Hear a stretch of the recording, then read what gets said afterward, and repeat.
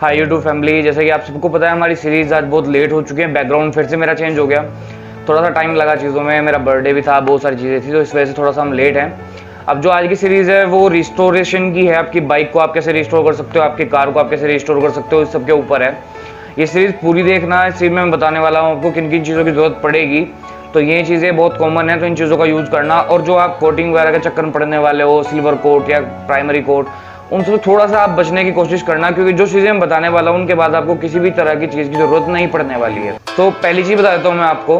पहली चीज़ है आपका ये ब्रश, एक नॉर्मल सा ब्रश आपको यूज़ से पड़ेगी। और दूसरी चीज़ जो है, अगर आपको और भी चीज़ें ना मिले, क्योंकि वो वाला ब्रश मुझे भी नहीं मिल पाया तो मैंने वे चीज़ें प्रेफर की हैं जो आपको आसानी से मिल सकती हैं इस बाइक की वॉश के लिए।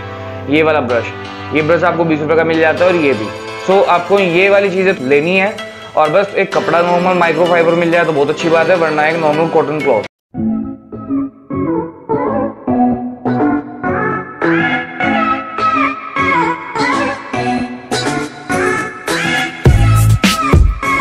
सबसे बड़ा पार्ट हमारे लिए जो था, वो था हमारे लिए पार्ट्स के अंदर की डर्ट को निकालना प्लस इंजन के अंदर की डर्ट को निकालना। तो अब देखना वीडियो में वो कैसे सब कुछ हुआ है और उस सबको एक बार देख के ऑब्ज़र्व करना।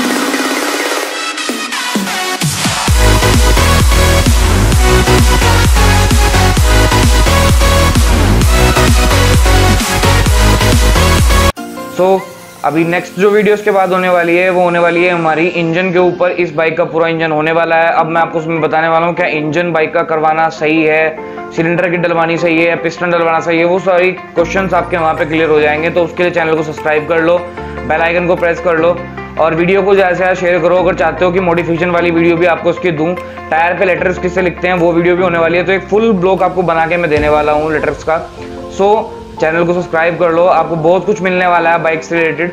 Thank you so much video देखने के लिए जय हिंद।